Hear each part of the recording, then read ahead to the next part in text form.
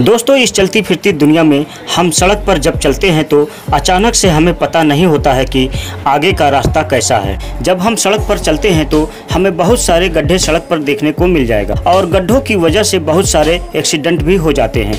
ऐसे में दोस्तों, हमें सड़क पर आँख कान खोल कर चलने की ज़रूरत होती है। दोस्तों, हादसे की संभावना तब और भी बढ़ जाती है जब सड़क के रास्ते पर पानी भरा हो। उस समय दोस्तों, हमें आँखों से देखने के बाद भी सिर्फ़ पानी ही पानी दिखता है। सड़क पर गड्ढे कहाँ हैं, हमें पता भी नहीं होता है। आप इस वीडियो में देख सकते हैं कि सड़क पर चारों तरफ़ पानी भरा हुआ है और लोग इसी पानी में रिस्क लेकर पानी पर चलने को मजबूर है। एक शख्स अपनी स्कूटी लिए आगे बढ़ रहा है और पीछे एक महिला भी बैठी हुई है। उन्हें पता नहीं होता है कि उनके साथ आगे क्या होने वाला है। वो शख्स स्कूटी के साथ जैसे ही आगे बढ़ता है, महिला और पुरुष दोनों गड्ढे में गिर जाते हैं और वो पूरी तरह से पानी में डूब जाते हैं। और दोस्तों, वहाँ पर मौजूद लोग दौड़कर महिला और पुरुष को बाहर निकाल लेते हैं। वीडियो में दिख रहा है कि स्कूटी अभी भी उस गड्ढे में गायब है। दोस्तों, मेरी तरफ़ से उन सभी लोगों को धन्यवाद जो मुसीबत के समय में दौड़कर आगे आते हैं। आप देख सकते हैं कि स्कूटी अभी भी उस गड्ढे में गायब है। दोस्तों, हमारे भारत में सड़क पर इस तरह के गड्ढे आम बात हैं, क्योंकि हमें हर सड़क पर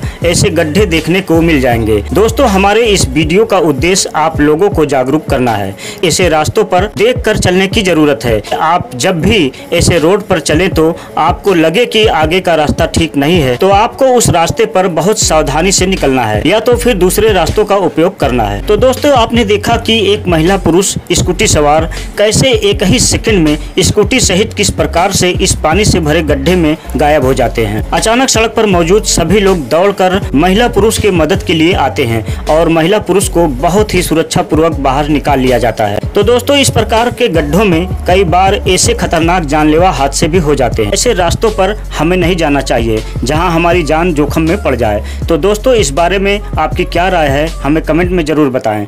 और वीडियो को लाइक, शेयर करें। और अगर आप हमारे चैनल पर नए हैं तो चैनल को सब्सक्राइब ज़रूर कर दें। तो दोस्तों, मिलते हैं हम अपनी अगली वीडियो में।